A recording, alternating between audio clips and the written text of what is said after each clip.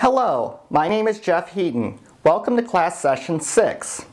In this class session, we're going to review program 1. You were assigned program 1 in the previous class session, and now we're going to step through and I will show you my implementation of program 1. We begin by looking at the structure. The structure for the neural network is relatively simple. Inputs 1 and 2 are done in the same way as the XOR problem that we looked at. This is simply the left and right hand operators, operator 1 and 2. Inputs 3, 4, and 5 designate what sort of a operation this is. If it's an AND, then the input 3 will have a value of 1, inputs 4 and 5 will be 0. We will never have a case where one of the inputs 3, 4, and 5 is true, or 1, and another one as well.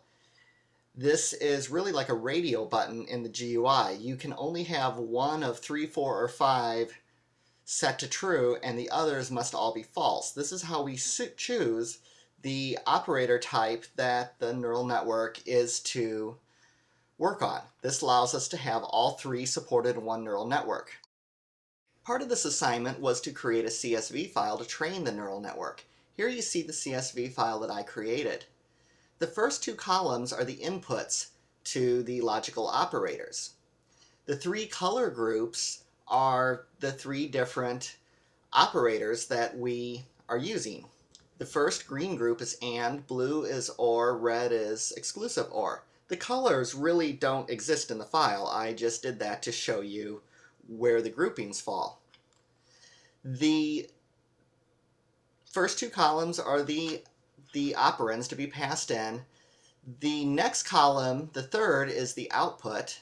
And the last three columns designate if this is an AND, an OR, or exclusive OR. And if you look at the red, green, and blue parts, you'll see that they that each part has a 1 going all the way down its appropriate column to designate it as that particular operator type. The main method starts out easy enough. We instantiate a new instance of program 1. Then I call a load method that will actually load the CSV file. This loads the CSV file and creates the training data. Then I call create network, which is going to create the neural network. And then I call train, which is going to actually train the neural network. Now there's many ways to construct this program. This is just the way that I decided to logically break it down. We will now look at, after these calls are done, it actually evaluates the data. And here we see the actual evaluation phase of the program. Once we have trained the neural network, we try it on a variety of operators to see what the results are. The results are printed to the screen and you can see how it performs with an AND, an exclusive OR, an AND, and another OR with a variety of arguments. This doesn't try every possible combination, but this gives us a general idea that the program is in fact working once it's been trained. We begin by calling the load routine. The load routine accepts a file name and it's going to actually read the CSV file. We actually read it twice. First to find out how many lines there are in the CSV file so that we can properly allocate the array to hold this file, and that's what you see here. We use the read CSV class, which was provided by the download for both the book and the class, though make sure you download the one from the class because I did extend the read CSV file just slightly for the class.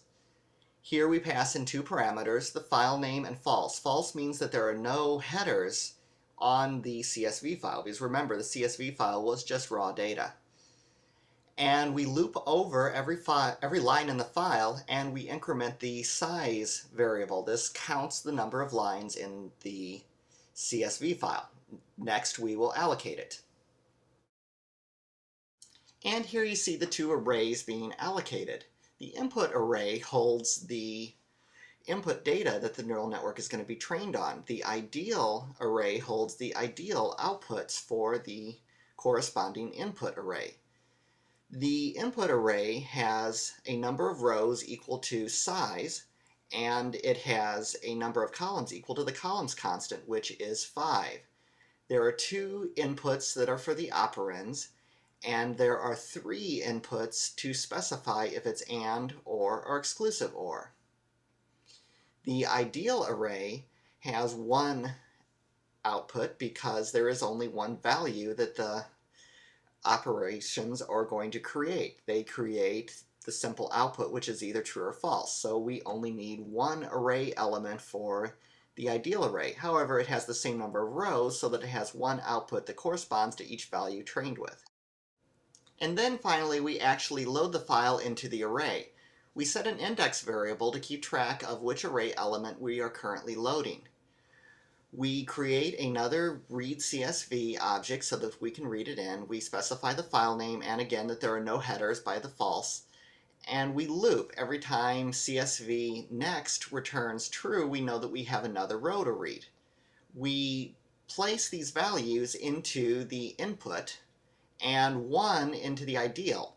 The second column, starting at zero, the second column, which is actually the third real column, is put into the the zeroth array element of the ideal. The others are placed into the various locations that they belong in for the input array.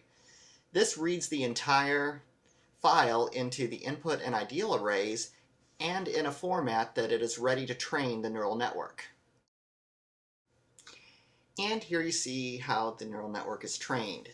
The train method accomplishes this. This is really little different than the training that we used for the exclusive OR.